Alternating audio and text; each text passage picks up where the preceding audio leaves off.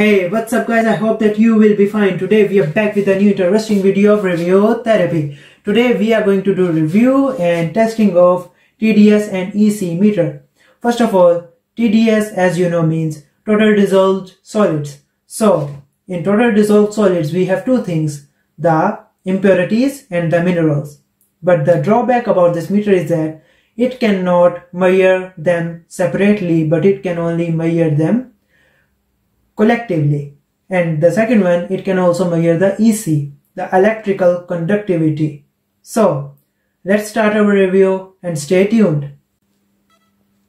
Guys, our TDS and EC meter comes with a nice protective hold after opening the hoard. The first thing we will see is TDS and EC meter itself. White color and looks of good quality. Extra battery lastly the user manual. User manual is available in english language and two more languages. First of all we will see in english language specifications operating instructions maintenance and warranty. Then the italian language and lastly the german language. So let's put it aside. The extra battery too on the top when we will open it we will see the battery slot and when we will open the cap we will see the reading tip.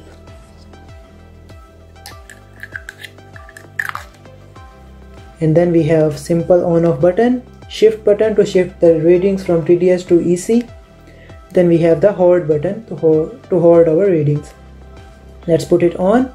So we have switched it on. You can see on little LCD of the meter. So here we have chart by WHO here we have levels of TDS and here we have readings or ratings. If the reading is less than 300 then it is excellent. If it is 300 to 600 then good 600 to 900 then fair 900 to 1200 then poor above 1200 then unacceptable. First of all we have Volvic natural mineral water.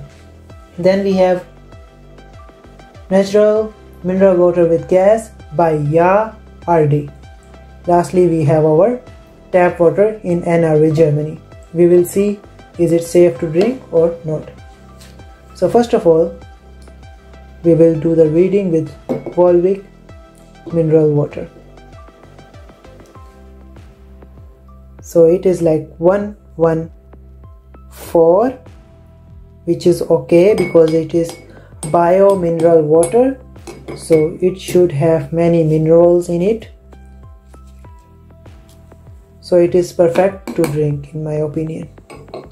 Then we have Ja mineral water with gas I think it is giving more reading because of gas. It's 317 with 22 degree centigrade.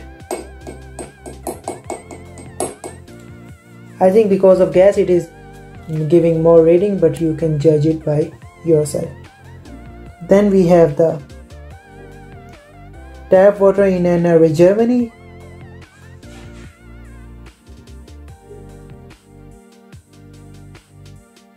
Congratulations guys. It is less than 300. It is about 170 to 180. So the water in NRW Germany is acceptable to drink and human friendly. It is not dangerous. So now we will shift the reading. Now we will measure the EC electrical conductivity. First of all the Volvic water again. It's 2 to 8 2 to 6 to 2 to 8 then the Ya water. Because of gas it would be more I think. So it is 6 3 4 do not forget to clean the tip before another reading natural water electrical conductivity is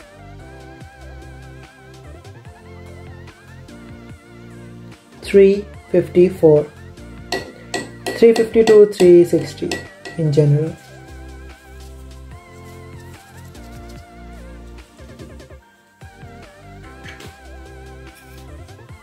and one more thing to hold it you have to just put it in and push the hold button and the reading will be stable after everything switch it off put on the lid put it in the hold box in the right way like that and then store it. So guys that's the end of our interesting review video. I hope that you liked our video. If you liked it then don't forget to subscribe our channel and then hit the bell icon so that you can get notification of our new interesting videos. And if you want to buy this meter then i will put the link in description. It comes with the um, with ph meter a set tds EC and pH meter. I have also uh, reviewed the pH meter. I will put the link in description too. And yeah, you can check it out. I will catch you in the next one. Take care of yourself. Goodbye.